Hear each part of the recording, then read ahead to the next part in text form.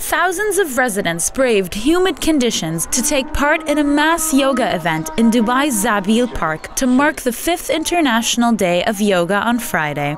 The free event attracted families, friends, youth, the elderly, and yoga enthusiasts from Dubai and other Emirates, which are also hosting yoga events until Saturday.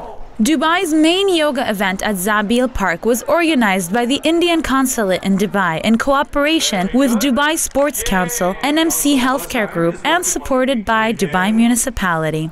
There was also a session on laughter yoga, which included laughing non-stop for a minute while looking up, arms reaching to the sky. Yoga is a really unique thing uh, left by our ancestors for us. And uh, I think it's an um, exercise which can uh, help really uh, work out and you know it helps our body to get uh, fit.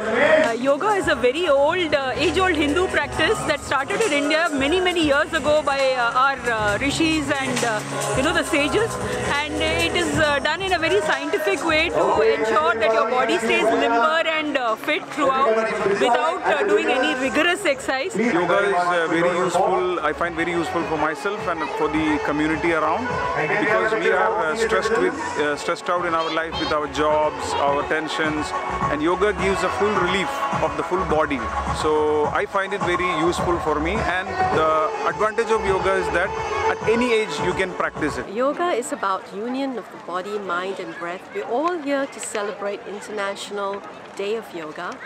And yoga has, you know, made a big difference in my life. Um, the breathing exercises, the um, physical asanas, the meditation, all, you know, when it's done together, it's like, um, it's brought forth a lot of talents.